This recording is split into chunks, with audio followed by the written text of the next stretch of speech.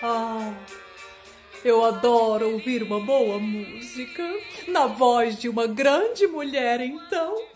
Senhoras e senhores, meninos e meninas, com vocês, Elisete Cardoso, uma das grandes cantoras de nossa história, conhecida como a Divina ou a Enluarada. De família humilde, ela sonhava em ser artista e cantava com os pais nas serestas do subúrbio do Rio de Janeiro. A família frequentava muitas casas de samba, festivais populares na cidade, além de conviver com grandes músicos, amigos de seus pais.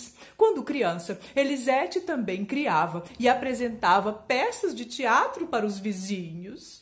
Começou a trabalhar aos 10 anos de idade. Foi balconista, funcionária de fábrica e cabeleireira. Aos 16 anos de idade, tem sua primeira festa de aniversário, onde canta para os convidados, entre eles Pixinguinha e Jacó do Bandolim, que ficou impressionado e a leva para um teste na Rádio Guanabara, e assim começa sua carreira. Ela grava um disco e passa a viver de música contra a vontade do pai, que era contra sua nova paixão.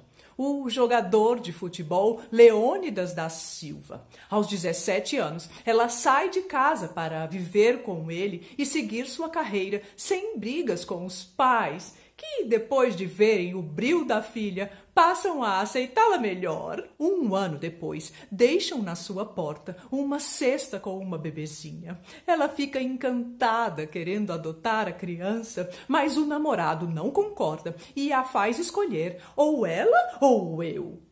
Ela sai de casa e adota a menina como mãe solteira, que fica como mais um grande escândalo para sua família na época. Uns anos depois, ela casa-se com o compositor Ari Valdez, com quem tem mais um filho e uma relação de altos e baixos. Mas ela segue fazendo sucesso, muitos shows e gravando um disco atrás do outro, o que piora um pouco o desgaste em casa e ela então decide se separar. Vai morar sozinha com as crianças, o que dificulta um pouco a sua vida financeira e profissional.